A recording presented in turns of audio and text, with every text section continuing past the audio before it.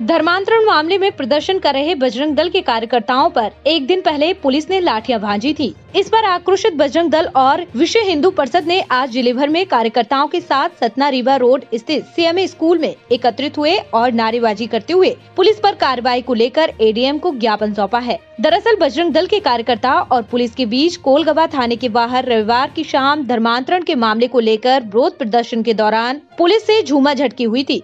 और पुलिस ने बजरंग दल के कार्यकर्ताओं को खदेड़ दिया था, जिसके बाद कोलगवा थाना घंटों तक पुलिस छावनी में तब्दील रहा। वहीं झूमा झटकी के दौरान गर्भवती महिला आरक्षक प्रियंका पटेल की पेट में चोट लगी थी, जिसकी वजह से गर्भवती महिला आरक्षक कराहते हुए बेहोश होकर थाने में गिर गई और आनंद फानन में उसे इलाज के लिए अस्पताल भेजा गया था।